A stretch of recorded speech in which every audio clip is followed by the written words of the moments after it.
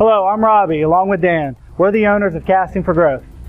Today we're going to show you how easy it is to brew a 50 gallon batch of worm castings that can treat up to 10 acres of plant life for only $2 per acre. This size brew is perfect for golf course professionals, managers of athletic fields, farmers, landscape professionals, and anyone else who has more than an acre of plant life to maintain. These are the materials required to brew that batch of worm tea. The most important piece is the Casting for Growth aerator. And this unit is made of heavy duty PVC, which guarantees a lifetime of structural integrity.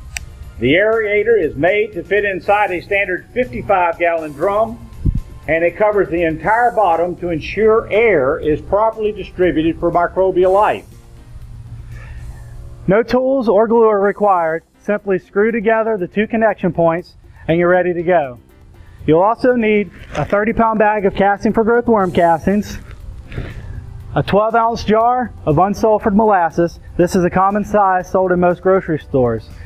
You need an oilless air compressor capable of supplying at least 3 cubic feet of air per minute and an air hose to connect the air compressor to the casting for growth aerator. You'll also need two short lengths of bungee cord and a 400 micron filter for when the tea's finished brewing so you can transfer it to your sprayer without getting any particles. And finally, you need the 55 gallon drum. To begin brewing, place the brewing container out of direct sunlight as the UV rays will harm the microbial life. Then you want to fill the container with clean unchlorinated water, leaving about 8 inches of room at the top for the foam head that will form.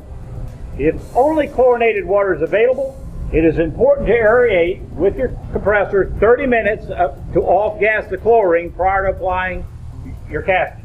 Next, you place your aerator assembly in the container or the, the drum and hook the bungee cords to either side to lock it to the bottom once the air is applied. And when the, the aerator is held steady and will do a good job at uh, creating turbulence for the casting. Now connect the oilless air compressor to the air fitting at the top of the aerator pole, shown in the back sort of here. The air will transfer down and the bubbles start instantly. The aerator is extremely tough, will not be harmed if your pressures go higher than PSI, than 20 PSI, but 15 to 20 are what's recommended. If you need unchlorinated water and you've already off-gassed this, you can pour your stuff right from here for the mixing of the molasses. So pour the dissolved molasses into the brewer.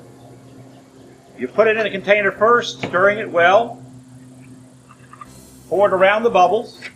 And then begin to flow, pour the castings out of the, in this example, the 30 pound bag while the air compressor is running, pour it around the top bubbling surface.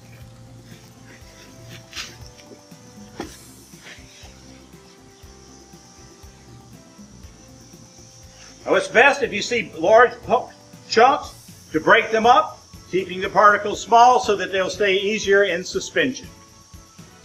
During the brew cycle, a foam head will appear on the brew as seen here. This foam head is a positive sign of the multiplying microbial life. The brewing process should take no longer than 24 hours, assuming temperatures above 70 degrees. Lower temperatures will slow down the process. The brew must be distributed to your plants within two hours after disconnecting from the air supply. Our Casting for Growth aerator contains instructions that include how to identify a questionable batch of tea, methods of application, including when best to spray, how to clean the brew kit and why cleaning is important, how often to apply the worm tea, and what to do with the castings that remain.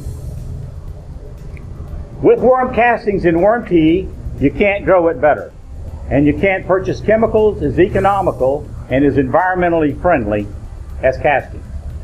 Visit our site today, order the Casting for Growth aerator, and make a real difference in your budget and the growing success of the acres of grass and plant life you're maintaining. We look forward to being of service to you and encourage you to contact us with any questions you may have.